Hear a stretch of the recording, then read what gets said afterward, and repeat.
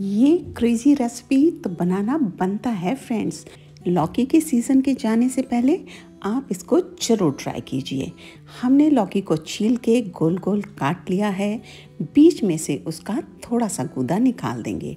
और हाँ फ्रेंड्स इस गूदे का बनाइए सूप या सब्ज़ी। अनियन रिंग्स तो आपने बहुत सुने होंगे। आज हम बनाने वाले हैं लौकी रिंग्स सारे मसाले डाल के थोड़ी देर के लिए लौकी को रख दीजिए। बेसन में नमक, मिर्च और कसूरी मेथी डालकर अच्छा सा पेस्ट बनाइए।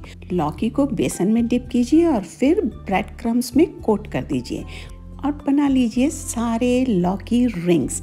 लग रहे हैं ना? ब्यूटीफुल बिल्कुल डोनट्स की तरह। ऑयल हमारा गर्म हो गया है।